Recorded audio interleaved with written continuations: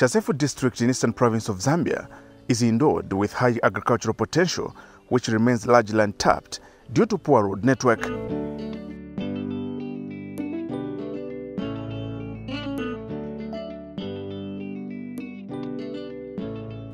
The district houses the vast Chasefu constituency with a composition of 10 wards, which are inaccessible at times because of the nature of terrain, especially that most bridges have been washed away during the rain season.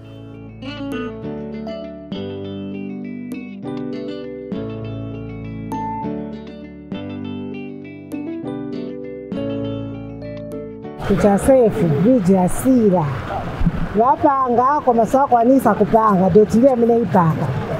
Sowatikileko nzere waboma motoka sizipita maonda o vantu vavutika so tivutika apa chifukwa siwaikako nzere so ndatiganzirako mabhriji atiteko bhriji yabhu inorongosoka tinenge mbuni kumbuka moyo ndimazuzwa pande vanhu mure vinthu motokabereka bhira apa kusa vinthu eh, kumbuska bomeganzepo nadipa vinthu vinamasikira apana ondiwa ganzapo bhiji atipange bhiji longosoka ikulu e bhiji atipange bhiji longosoka ikhala e bhiji yadi ikulu e kuti however this will be the thing of the past through the use of Enhanced Constituency Development Fund, CDF.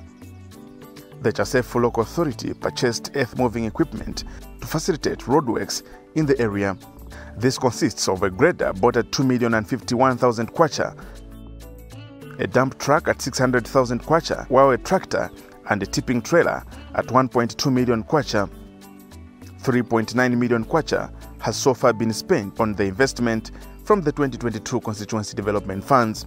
Outspoken Mishak Nyambose is an independent member of parliament for Chasefu who has opted to work with the government to lobby for the development in his area to the benefit of his people. I was just elected as a member of parliament for this constituency, Chasefu. And I was wondering how I was going to deliver development with the 1.6 million. But uh, God is there, not only for Chasefu, but for the entire country. We thank the president, Mr. Hakainde Hichilema, and the New Dawn administration. It's a blessing to this country to increase money for the rural people. Here, where I'm standing behind me, what are you seeing? This is a testimony. And that we need to appreciate that the increase to the CDF is a massive increment and is a blessing to this country because all the rural towns, the rural constituencies now have this money. Following the recruitment of 30,000 teachers countrywide, Chasefu alone was allocated 473 teachers, thereby creating an accommodation crisis. Therefore, the local authority intends to locate a lion's share towards desks and accommodation of teachers, a challenge that has remained unresolved for about 50 years since Zambia became independent. The focus of the 2023 should go to desks and houses for teachers. You may wish to know that Chasefu, prior to the recruitment of the 30,000 teachers by government, Chasefu had um, 416 teachers. But during the recruitment, we were favored. Chasefu is big. We were given 473 teachers. 80% recruited from here. We thank the leadership. Has it happened before? We need to give praise where it is due. So those 473 teachers plus the other ones who have been there, we need to motivate them to build houses. They deserve better accommodation, houses and water. We're not just going to build houses, we need to give them water borne toilets. We need to give them water from pipe to water. So this is a directive and the wish of this committee and the council of Chasefu. So the focus for 2023, we shall put more money towards more classroom blocks, blocks, classroom blocks, then also housing and desks. You remember that there's a deadline given to us, a time frame, that no child should sit on the floor by December this year. And we have, a set a team of technocrats. they have gotten the actual deficit of desks. We have about 6,000 plus deficit. He's also determined to accord the deceased a befitting send off through the construction of a mortuary at the district main hospital. In the next one month, there will be a lot of activity. We are building our first mortuary unit.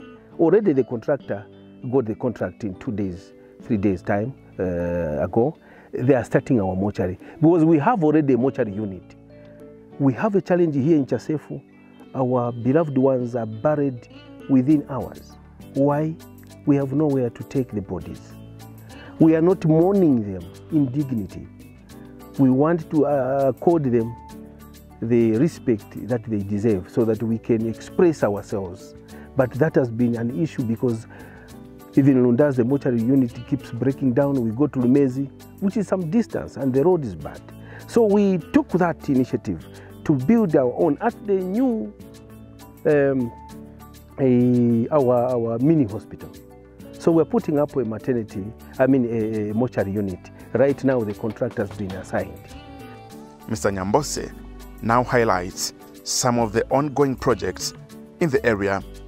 We are doing a one by three classroom block at Chandeke, which is as you enter the first school you, you see on your right. When you just leave our barrier there, there's Chandeke school, that is Chabori ward. We are doing that, we are completing a one by three. We are also doing this Chambuzi Primary, Chizingizi Primary School. Chizingizi in deep there. This school was created in, was started in 1968. It has only a one by two block. The population has increased in Chizingizi. We started a one by three, which we are trying to finish up. We are doing another one by three at Muswazi in Kajirime ward. It's a community school. A contractor has just signed the contract. We want to do a new one, a, a proper one eh, at Muswazi Community School.